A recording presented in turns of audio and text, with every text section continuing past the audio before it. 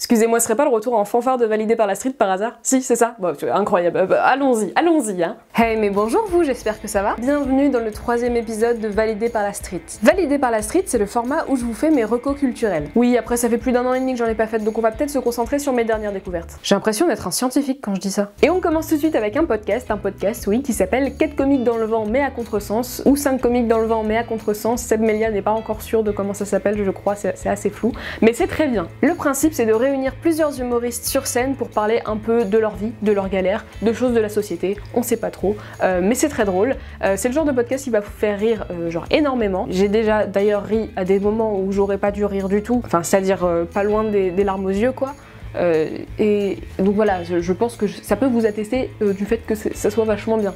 la dernière fois que ça m'était arrivé, je pense que c'était quand j'écoutais Deux heures de perdu, l'épisode avec Pretty Woman, qui est vraiment vraiment pas mal. Et donc vachement bien, donc écoutez ça finalement. Et si je peux me permettre une reco un tout petit peu plus pointue, je dirais écoutez l'épisode avec Dedo, Inès Reg, Amel Shahabi, j'espère que j'oublie personne d'autre, qui est trop bien. Genre euh, trop trop bien.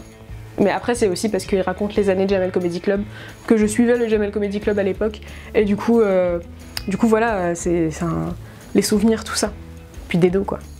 J'adore son humour. On passe aux suites, aux suites une BD qui s'appelle Moi ce que j'aime c'est les monstres, qui est euh, une BD, un roman graphique. apparemment il y a débat sur euh, l'appellation de BD roman graphique.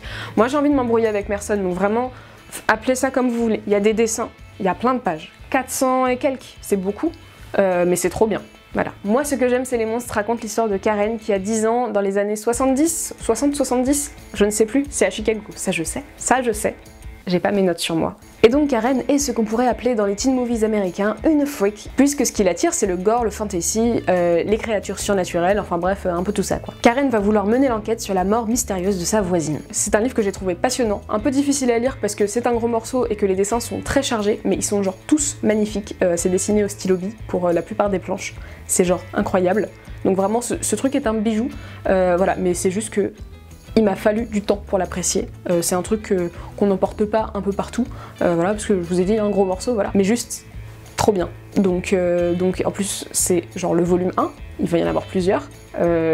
j'ai trop hâte, j'ai trop hâte de, savoir la suite. Il y a du suspense, des rebondissements, des trucs de genre Waouh, non mais c'était depuis le début incroyable et tout. Voilà, lisez, lisez-le, il est, il est fou. Pour mes recos de spectacle actuellement, eh bien il n'y a pas de spectacle car je ne vais pas avoir de spectacle puisque 2020, voilà. Euh, débrouillez-vous avec ça. Je, suis aussi triste que vous, hein, euh, voilà. Euh, vous auriez aimé que j'aille voir des spectacles pour pouvoir vous dire allez voir ce spectacle, c'est vachement bien. Voilà, le fait est que je ne peux pas. Donc ouvrez Netflix et regardez des trucs. Du côté des séries, j'ai regardé Parks and Recreation, qui est une série pas, pas du tout nouvelle, je, je le conçois. Il n'y a pas de souci là-dessus. Laissez les gens faire leurs découvertes on en discute et voilà. Mais le message que je vais vous délivrer est quand même très important. Pourquoi? Eh bien tout simplement parce que j'ai beaucoup regardé la série The Office. US. Et donc du coup, Parks and Rec pour moi c'était un petit peu genre une espèce de plagiat pas trop ouf, euh, voilà que j'avais pas envie de voir parce que c'était exactement le même schéma. Euh, voilà. Je commençais par regarder la première saison et enfin au début j'étais en train de me taper la tête sur la table en me disant mais c'est la même chose, ça va me saouler, voilà. Sauf que des gens très cool et très réfléchis m'ont dit non, persévère, tu verras, ça prend son propre ton, tu vas finir par apprécier et te rendre compte à quel point c'est génial. Le fait est que, effectivement, je le conçois, c'est génial, pardon. Juste pardon, voilà, je reconnais mes torts. Mais vraiment, cette série m'a rendu plus souple, donc faites-le, regardez ça, c'est bien. Et pour l'instant, mes personnages préférés, c'est Ron et April, parce que parce qu'ils aiment personne en fait, et que moi j'aime bien les gens qui n'aiment personne, parce que mais du coup je leur dirai pas, parce que Déjà parce que c'est des personnages fictifs, mais surtout parce que s'ils aiment personne, bah, pourquoi ils m'aimeraient moi si moi, enfin j'aime, ils n'aiment personne.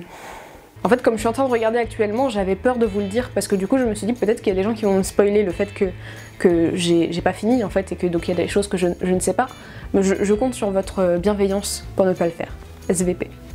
Ayez pitié de moi, je vous en supplie.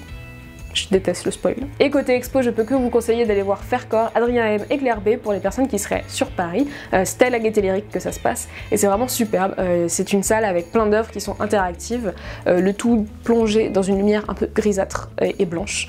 et du coup, on fait des gestes et ça bouge avec nous. C'est incroyable. si vous êtes danseur ou danseuse, c'est, je pense, l'endroit parfait pour venir vous exprimer.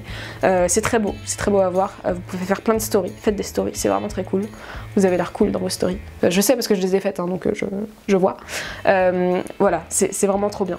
Faites-la, faites-la, c'est bien. Et on termine avec le film Nice Guys, qui est, je crois, toujours dispo sur Netflix. Nice Guys met en scène un détective privé et un tueur à gages qui enquête sur la disparition mystérieuse d'une jeune fille et d'une actrice, qui n'ont a priori rien à voir. et puis voilà, et puis la suite du film vous dira la suite du, film, quoi. C'est avec Ryan Gosling et Russell Crowe, et j'ai pas du tout eu besoin de faire une pause et de faire un autre plan pour euh, dire le nom des acteurs, parce que je pensais que c'était Gérard Butler qui était avec Ryan Gosling. Non, pas du tout. C'est pas du tout pour ça, je vois pas de quoi vous parler. C'est très drôle, j'en avais jamais entendu parler avant de tomber sur l'affiche sur Netflix, donc euh, franchement, euh, allez-y. D'ailleurs, si vous me suivez sur Instagram, vous savez déjà que je l'avais recommandé, parce que j'ai pas plus explicité que ça, mais, mais en gros, j'en ai déjà parlé. Donc peut-être suivez-moi sur Instagram. Comme ça, on peut avoir un dialogue et peut-être euh, vous pouvez avoir des recos avant que j'en fasse une vidéo euh, trois mois après. Ça va, vous prenez de l'avance, c'est bien, non? Mardi, c'était bien de prendre de l'avance, je sais pas. Le mot de la fin sera éventail. Me demandez pas pourquoi, je vous demande pas de le mettre en commentaire. Vraiment, je m'en fous, juste j'avais envie de dire ça. Bonne journée, bonne soirée, je ne sais pas. Qu'est-ce qui se passe? Au revoir, qui êtes-vous?